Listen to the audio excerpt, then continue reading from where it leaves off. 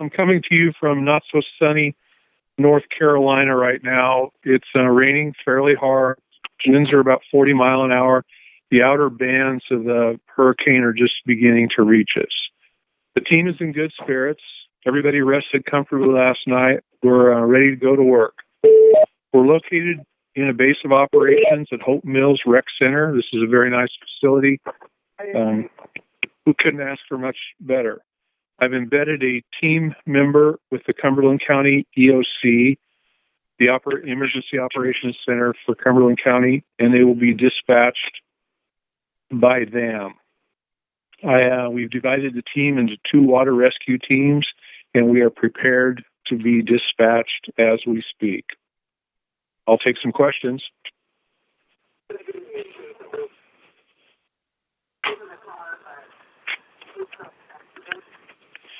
Uh, could you describe a little bit more as to, to what kind of um, efforts you're going to be undertaking, do you think, as soon as you get going in North Carolina? What we're expecting is to do either water rescue or water evacuation. The difference between the rescue and evacua- evacuation is um, rescue, somebody's in imminent danger. Evacuation, the water's just risen and they need to, people need to get out of there. The plan is they will dispatch local resources first. If the local resources are, are unable to do that, then they're going to send our team.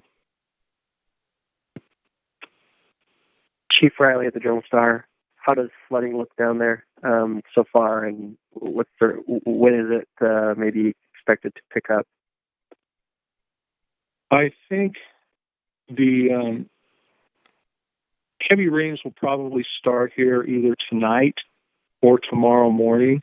I do know there is flooding on the East Coast. There's several USAR assets over there. Some of them are pretty busy doing emergency rescues last night. So far, we haven't seen any flooding. It's just raining. Uh, this area, you know, it's a coastal region. It gets quite a bit of rain anyway.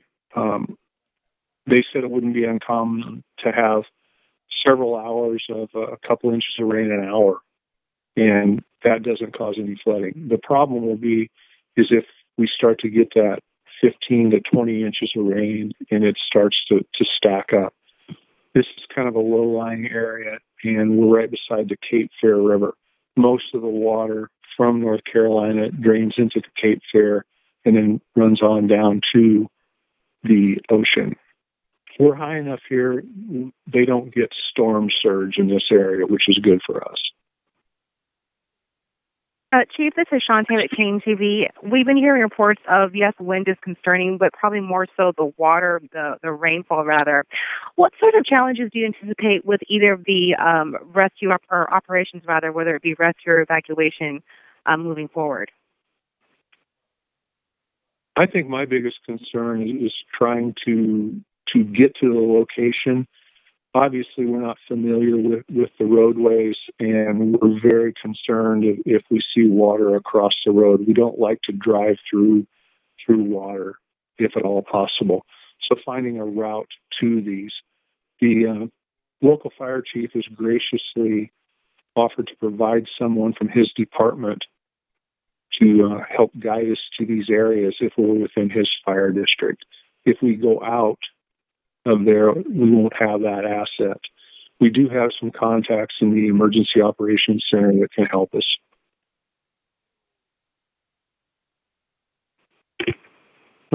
Chief uh, Andrew Ozaki from Channel 7 News. I'm not familiar with the area that you're in. What, what are the main populations that, that you will be working in? Fayetteville is the largest city. I, from what I can tell, Hope Mills is actually um, a smaller suburb of Fayetteville, North Carolina.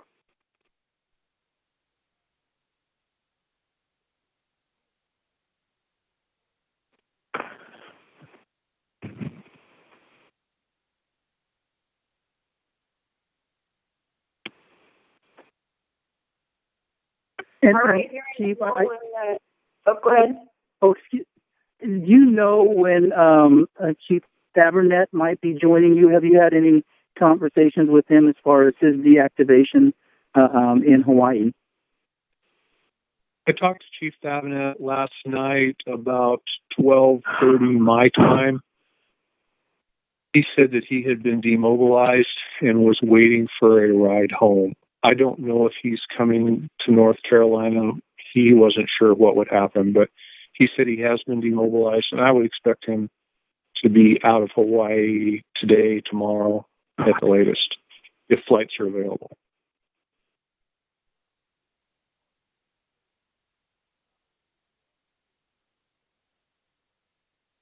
All right, um, Chief Bonine, we're going to let you get back to operations. Um, Task Force Leader Chief Bonine, thank you for your time this morning. And um, we will plan on again speaking with you tomorrow morning if that again um, works for your schedule. I will put it on my on my calendar and and try to make it. All right, thank you, sir. You're welcome.